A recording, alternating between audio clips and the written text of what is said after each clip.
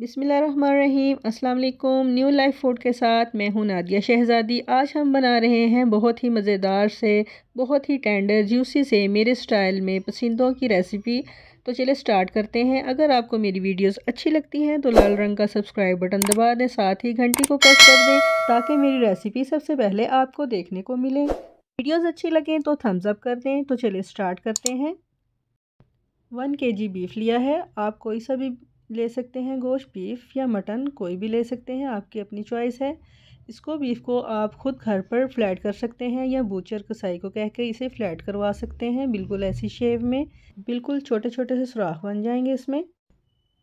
हमारे पास है बारीक चॉप किया हुआ अदरक और तीन से चार अदद हैं, बड़े साइज़ के टमाटर हैं और यहाँ पे लहसुन अदरक का पेस्ट है, हरा धनिया कटा हुआ है। एक चम्मच लिया है काली मिर्च का, एक चम्मच लिया है गर्म मसाले का, एक चम्मच नमक का है, हल्दी आधा चम्मच, लाल मिर्च, चार अदद बारीक प्याज काटे हुए हैं हमारे पास। यहाँ पर आधा किलो के करीब हमने दही लिया है, इसको हमने अच्छे से बीट कर लिया है। बीट करने से गुठलियाँ ख़त्म हो जाती हैं। गोश्त को इस तरह से आप घर पर भी किसी भी चीज़ की मदद से आप इसको प्रेस कर सकते हैं।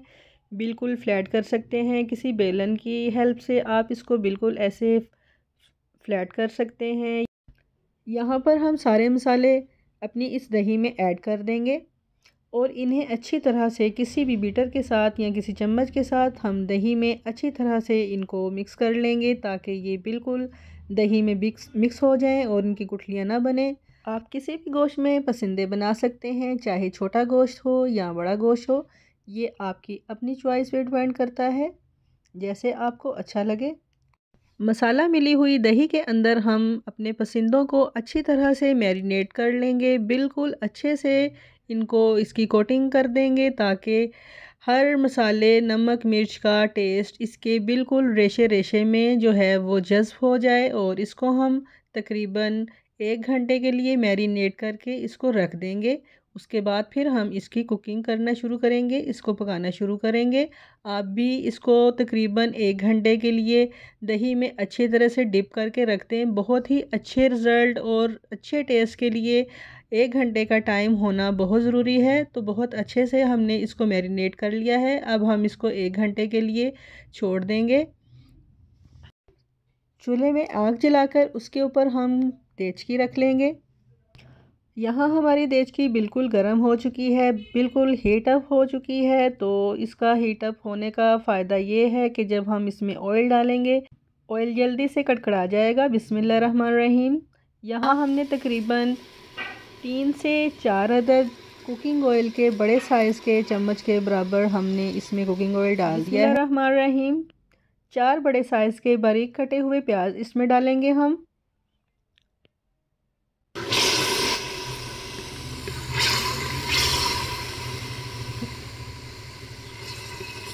हल्का सा इनको हम सोते करेंगे ताकि ये थोड़ा सॉफ्ट हो जाए।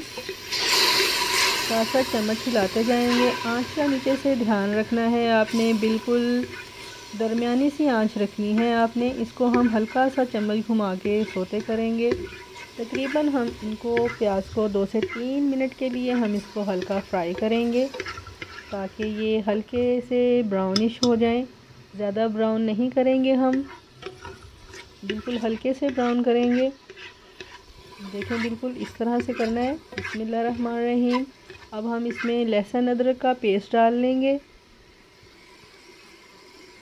बिल्कुल प्याज की तरह इन्हें भी हम हल्का सा फ्राई करेंगे। बिल्कुल हल्का सा फ्राई करेंगे। ज़्यादा नहीं करेंगे। रहीम अब हम इसमें सारे मसाले ऐड कर देंगे। हमने पहले दही में भी मसाले डाले हुए थे।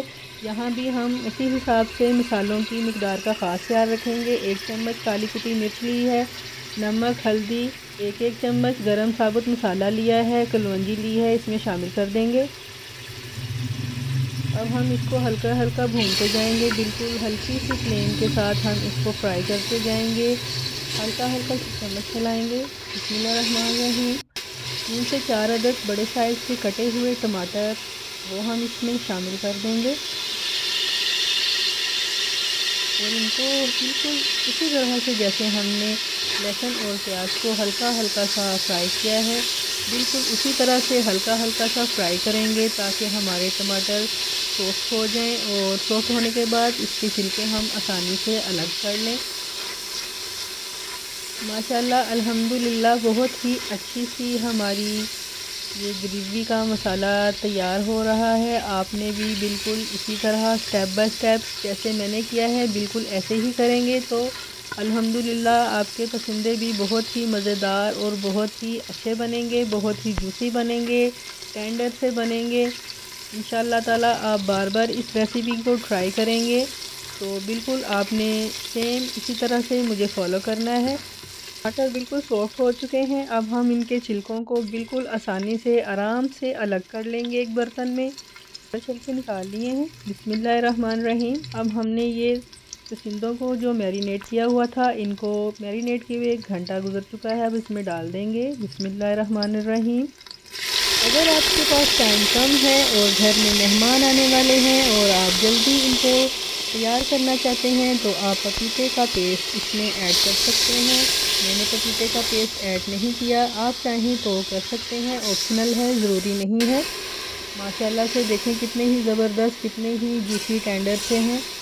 तो आपने इसको बिल्कुल अच्छी फ्लेम पर रखना है, यानी कि ज़्यादा तेज़ भी ना हो और कम भी ना हो, ताकि आपकी रेसिपी अच्छी से कुक हो जाए। खानों में उमदगी और नफासत ही हमारे मैार की अवलिन पहचान होते हैं। अल्लाह पाक हमारे नबी के सदक़े में हमारे खानों में जायके डाले और खाने वालों को अच्छी सेहत दे। माशाल्लाह, अल्हम्दुलिल्लाह, बहुत ही प्यारे लग रहे हैं, बहुत ही अच्छी खुशबू है।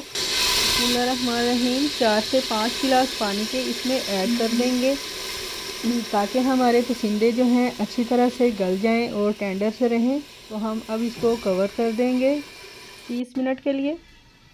तीस मिनट गुजर चुके हैं तो अब देखते हैं कि हमारे पसंदे की क्या कंडीशन है? कैसे हैं? माशाल्लाह, बहुत ही ज़बरदस्त से तैयार हो रहे हैं, बहुत ही ज़बरदस्त लग रहे हैं।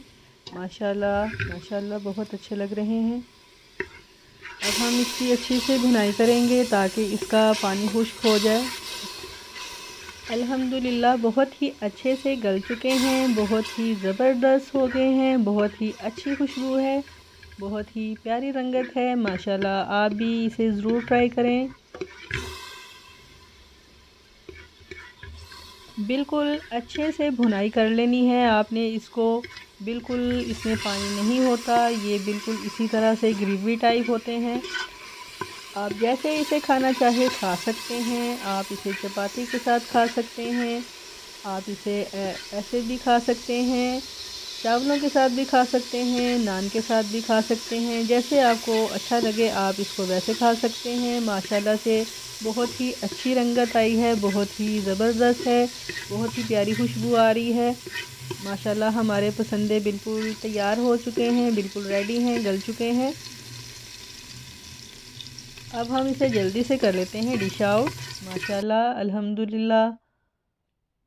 अल्लाह ताला की कितनी नेमतें हैं जिसे हम खाते हैं और हमें हर वक्त अपने परवरदिगार का शुक्र अदा करते रहना चाहिए कि उसने हमें इतनी सारी नेमतों से नवाजा है और हम अपने परवरदिगार की इतनी सारी नेमतें हैं जो ज़िंदगी में खाते हैं, पीते हैं और मज़े करते हैं।